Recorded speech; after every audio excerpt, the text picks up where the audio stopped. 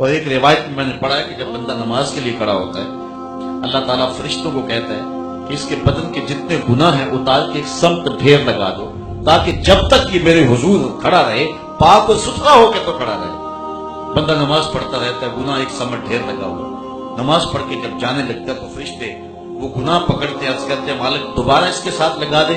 اللہ تعالیٰ فرماتا ہے، اترے ہیں تو اترے ہی رہنے دو میرا بندہ ستھرا ہو کے گھر کی طرف طرف چلا گیا۔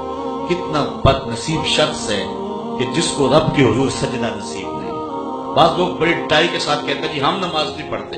میں کہتا تو کیوں نہیں پڑھتا؟ رب تجھے توفیق نہیں دیتا، اپنی دہلیز پہ تجھے بلاتا نہیں۔ میں نے کئی لوگوں کو دیکھا ہے کہ مسجد کی ہمسائیگی میں گھر ہوتا اور پنجگانا آواز اذان کی آ رہی ہوتی ہے، لیکن نصیب نہیں ہے، اللہ انہیں بلا ہی نہیں۔ اللہ اکبر، کتنی بد نصیبی ہے، بلکہ آپ نے بھی یہ مناظر دیکھے ہوں گے۔